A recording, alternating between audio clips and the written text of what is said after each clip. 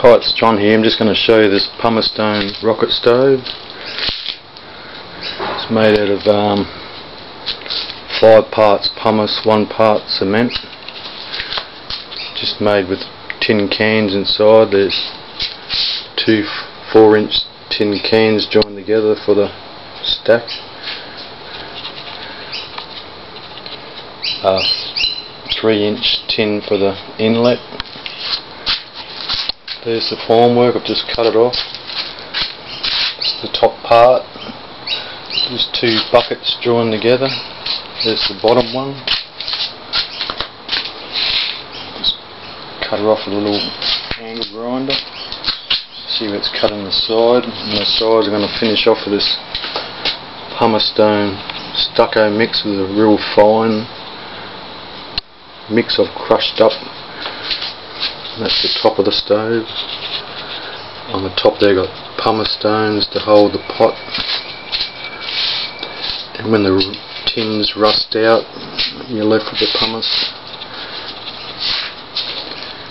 Here's one I've been practicing on. Here's the original, the stucco mix. This pumice stone is very light.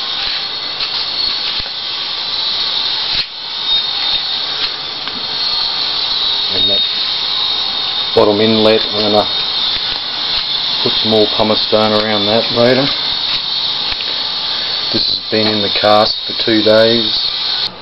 Just finishing off the um, inlet. Made a bit of a formwork up. Here's our mixed pumice here. Some of it I've got to crush up with a lump hammer and a double layer of rag or if you haven't got any pumice you can use perlite. Here's the mix here I've just mixed up. You're supposed to pre-dampen the pumice stone first after you've washed it.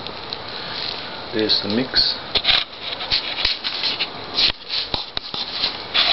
I'm just going to finish this up here hopefully.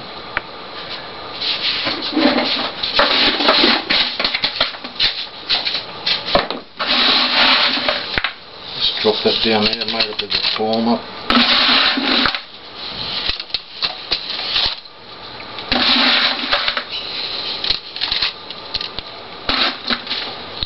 Just tamp,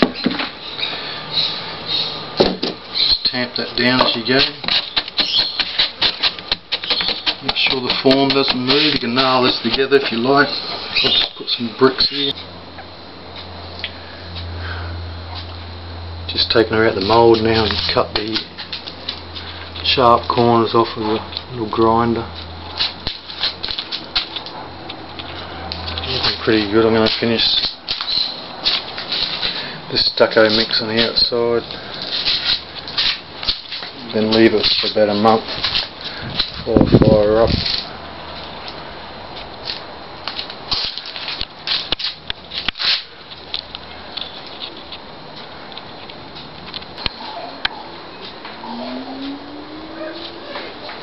Nearly finished rendering this thing now. Fine stucco mix. Just a little bit at the back I'm short of. Have to make a little bit more up.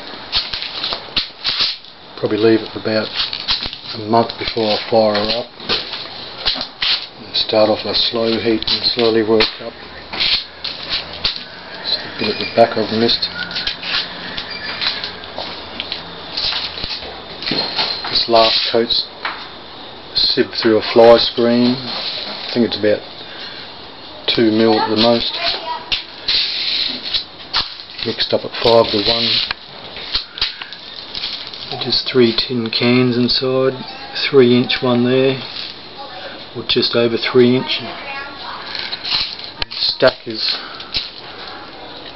two dog food tins, 4 inch little pumice stones on top of the holder.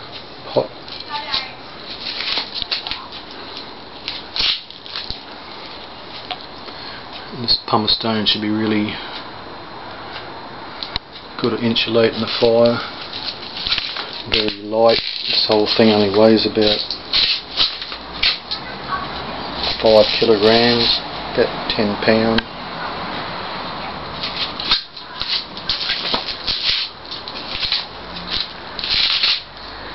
Okay.